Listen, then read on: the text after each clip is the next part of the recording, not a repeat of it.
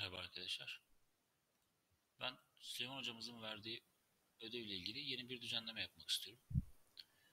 Bu ödevimiz şöyleydi. Size verilen bir listeki her elemanın kaç kere tekrarlandığını gösteren kodu yazınız. Burada bir örneğimiz var. Önce bir bize verilen bir liste olduğu için önce bu bir listi tanımladık. List içinde integer var. Adı mylist, yeni list, integer ve elemanları ben buradan ekledim. 2, 5, 2, 13 değişik değişik integer'lar ekledim. Daha sonra bunları şu formatta yazdırmak için yani bu ikili bir e, entry set olarak yazdırmak için bizim bir map'e ihtiyacımız var. Bir map tanımladık. Bunların hem sol tarafı hem sağ tarafı yani iki ikili değerlerin ikisi de integer olduğu için bir integer, integer bir map tanımladık. Bunların da my map koyduk. Arkadaşlar burada bir e, döngü for each loop koymamız lazım. Neden? Çünkü bunları tek tek bakacak. 2 var mı? Bir tane var. 5 bir tane var. 2 bir tane daha var. 2 yapacak. Böyle olacak. Olması için bir for each loop döngüsü tanımladık. Burada w integer. Neden? Çünkü ben my list'teki değerler integer olduğu için bir integer w iki nokta üstte my list olan bir for each loop döngüsü tanımladık. Burada dedik ki my map nokta get w yani buradan aldığı 2'yi buraya koyacak. Diyecek ki my map'te 2'nin karşısında ne var? Eğer hiçbir şey yoksa sen ekle. Ne ekleyecek? My map'e bir tane w virgül 1 yani 2 eşittir 1 ekleyecek. Eğer diyecek ki e, 2'nin karşılığında bir şey varsa yani yoksa durumunun else durumunda o zaman diyecek ki buraya w'yu ekle ve yanına da e, mymap.get w w'nin karşısında ne varsa onu bir artır. Ben bunda şöyle bir şey yapmak istiyorum. Şimdi bu kodu çalıştıralım.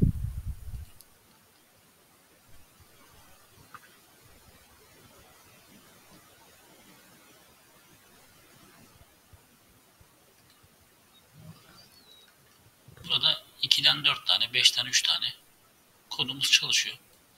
Ben istiyorum ki şöyle bir şey olsun. 2'nin hangi konumlarda olduğunu da bana söylesin. Yani desin ki 2 indeksi 0 olan da, indeksi 2 olan da ve indeksi şu olan da var diye göstersin istiyorum. Yani ben burada 2'yi gördüğüm zaman 2'nin hangi, hangi indeksli bölümlerde olduğunu da yazsın istiyorum.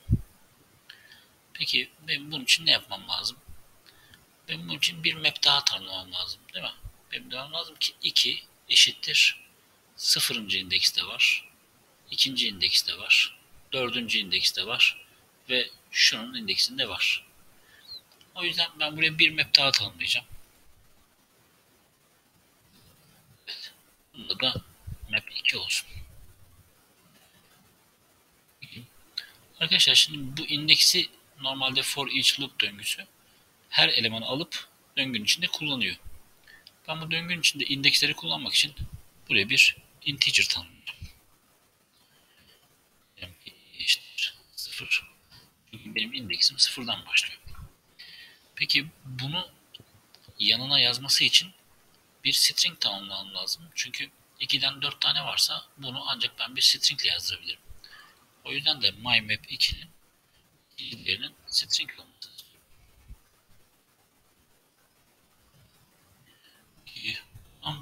Bir string alacağım. String i'nin stringi olsun istiyorum. i str diyorum. Eşittir. Boş bir string İşte bu i de döngünün içinde girip dönsün istiyorum. Yani burada kontrol ettiği w yani mylist'ten aldığı elemanları kontrol ederken aynı zamanda bunların indekslerini de yanında taşıyıp gerekirse yanına eklemek istiyorum.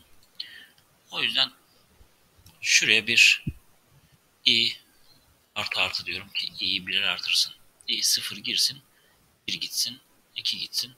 İndeksleri de w'nun paralelinde indeksleri de görmek istiyorum. Ama ben bu indeksleri yan yana yazdıramam. Değil mi? Ben bu i'lerin de bir stringine ihtiyacım var. Zaten bu stringi ben bu yüzden tanımladım. Buraya diyorum ki i str eşittir i artı hiçbir şey. Yani bu i'yi hiçbir şeyle concatenate ederken i'yi string'e çevirmiş olacak. Ben genelde string'e çevirmesi için kolay olduğu için böyle yapıyorum. Peki ne yapacak arkadaşlar? Buraya diyecek ki my map diye bulduğu w yani 2'yi aldı geldi bu map'te yok. O zaman map 2'de de yoktur. O yüzden 2'ye şöyle bir şey yap. W yanına da istr'yi yaz. Yani 2'den bir tane var diye bir sadece bir olan bir ibare görmek istiyorum. Yani 2'nin pardon 0. string'de 0. indekste olduğunu ifade etmesini istiyorum. Peki buraya diyorum ki eğer W benim listeme map'ime henüz girmemişse my map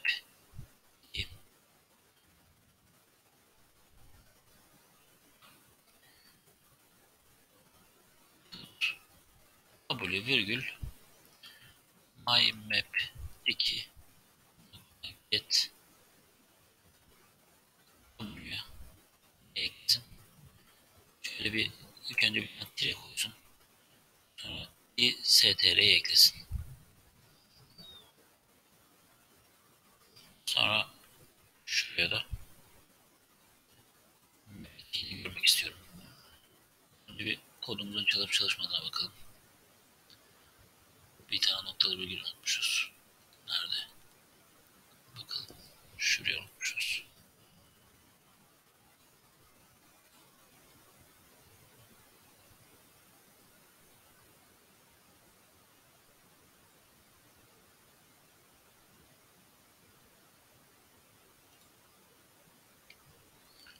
Evet. Bakın diyor ki 2'den 4 tane var. MyMap 2'de de 2 0. indekste, 2. indekste, 4. indekste ve 10. indekste var. 5'te de 3 tane var. 1. 5. ve 9. indekste var. 9'dan bir tane var. 6. indekste var. Evet. İstediğimi yapmış oldum. İsterseniz basitçe bir üzerinden geçelim. Arkadaşlar şunu niye oluşturdum? Çünkü ben map 2'de bu 2'den hangi indekslerde olduğunu yazdırmak istediğim için ben bunu bir integer ile yazdıramam.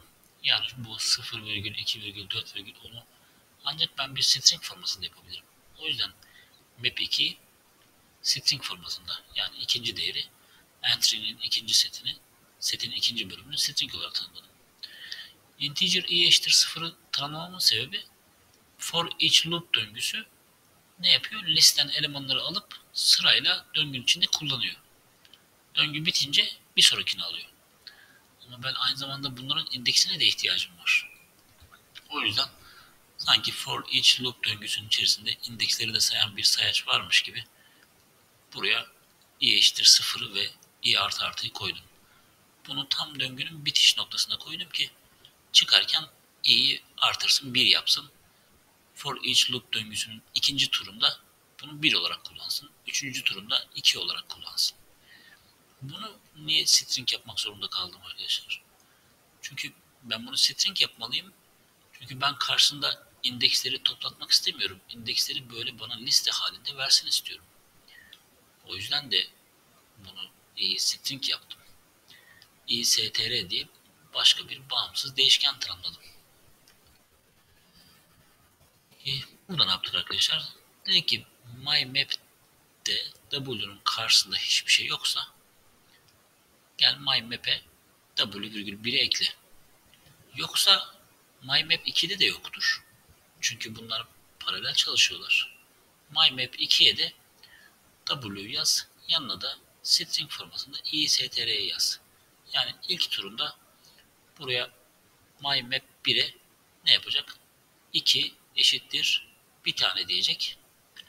Hemen şurada diyecek ki 2 eşittir 0. Yani 0. indekste var. diye bunu static formatına yazacak.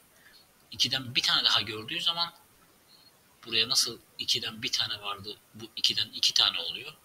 Bunu şu komutta yapmıştık. Buraya da 2 eşittir 0,2 yani 0. indekste ve 2. indekste var diye yazması için de bunu yaptık. Yani W mymap 2 get W yani W'nun karşısında ne var? Tabi mesela şurada 2'nin karşısında 0 var. Çünkü 0. indekste var. Buna e, tireyi concatenate et. Artı bir de bir sonraki indeksini getir yanına yaz. Yani 2'yi yaz. Daha sonra gelecek 13'e bakacak. 13'ten daha önce hiç kullanmadık. 13'ten zaten kaç tane var? 2 tane var. Şu ilk 13.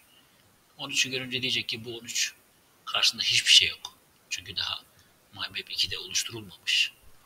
O zaman yanına bir taneyi gördüm de. Yani de ki 13'ten bir tane var. 13 eşittir 1. Peki yanında hangi string, hangi indekste olduğu var mı? Zaten 13 oluşturulmamışsa burada da oluşturulmamıştır. O zaman bunun yanına da gel de ki 13'ten 3. indekste bir tane gördüm. 13 eşittir 3'ü yaz. Eğer 13'ten başka bir yerde daha görürse bu defa burası çalışmayacak çünkü 13'ün karşısında bir değer var. 13'ün karşısında 1 var. MyMap 1'de.